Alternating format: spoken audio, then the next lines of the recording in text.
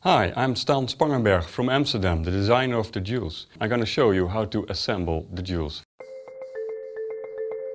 Attaching the wheels to the frame is very easy. Just push the button in the middle of the wheels and attach them in one click. Unfold the frame and adjust the push bar in the highest position. The grocery basket. Place it over the brake and attach the four straps between the rear wheels using the push buttons.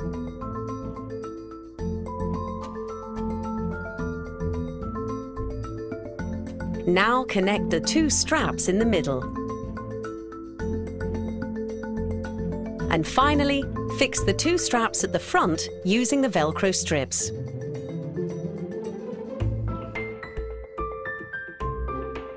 Click in the seat frame and adjust it in a flat position, as this is easier to attach the seat fabric. To attach the seat fabric, you first connect the Velcro on four positions.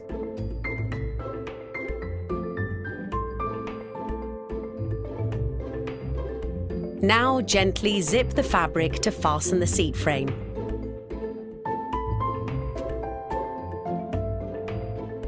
For the finishing touch, just connect the top Velcro pieces. To fasten the fabric to the footrest, use the zipper below.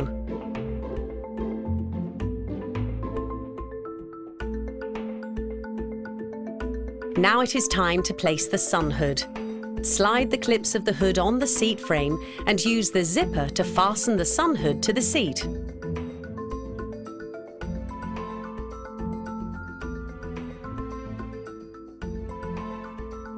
Finally, place the leather safety bar on the seat.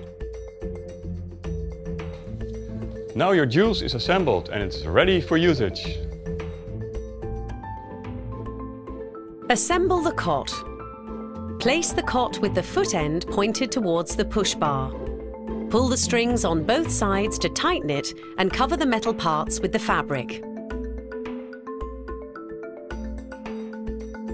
Now you can place the anti-allergenic mattress and put the white fabric on top. Close the cover with the zipper and attach the cover to the sun hood using the push buttons.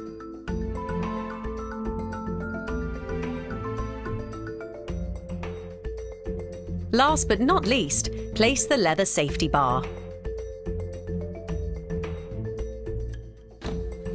Now the Joolz cut is ready for usage.